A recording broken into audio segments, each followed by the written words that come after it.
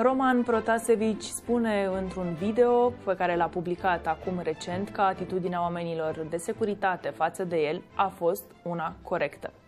Și îți arăt o traducere a mesajului lui. A spus că va coopera la anchetă și a vorbit despre organizarea revoltelor. Nu am probleme de sănătate, a spus Protasevici în videoul pe care l-a postat. În același timp, KLM a anunțat că nu va mai zbura deasupra Belarusului.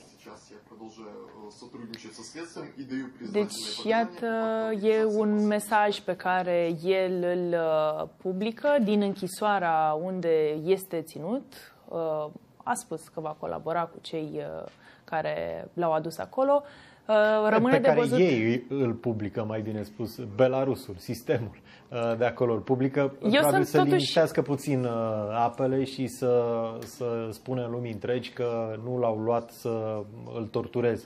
Da. Uh, că îl judecă și urmează un proces firesc. Ideea aceasta să scoți în evidență faptul că ești sănătos, n-ai niciun fel de probleme, ești uh, în, uh, într-o stare de sănătate excelentă, pe mine mă pune puțin uh, cu, uh, pe gânduri. Asta pentru că ne putem gândi ulterior dacă vor apărea anumite acuzații că starea lui de sănătate s-a înrăutățit, vine acest mesaj în care lumea o să spună, domnule, el a intrat în această închisoare complet sănătos. Ce s-a întâmplat între timp? Cine este de vină? Dacă starea lui de sănătate se deteriorează? Deci, mi se pare că e și așa un, un oarecare mesaj la care ar trebui să se gândească și o informație pe care ar trebui să o urmărească cei care și vom, vom urmări și noi povestea că sunt convins că apar uh, multe comentarii în următoarele ore.